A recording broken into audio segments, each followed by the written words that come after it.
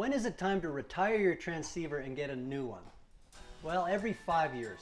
Basically, that's when your warranty is going to expire. This technology is changing so fast, and this is life-saving equipment. You want a digital three antenna transceiver. The Tracker 4, the Tracker S, and the Tracker 3 are all digital three antenna transceivers. What you really shouldn't be buying, even if it's really cheap online, is an analog single antenna transceiver. These are two of the models that you might see online. Don't buy those. This Tracker DTS was the first digital transceiver ever made, and these things, they've lasted over 20 years. But it's not current technology.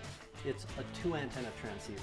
The Tracker 2 is a three antenna transceiver. This is a current transceiver. All right, to check to see how old your transceiver is, at least on a tracker, you want to look at the serial number. That's in the battery compartment. And check this out. This is a screwdriver you can use on the lanyard that'll help you unscrew the battery compartment.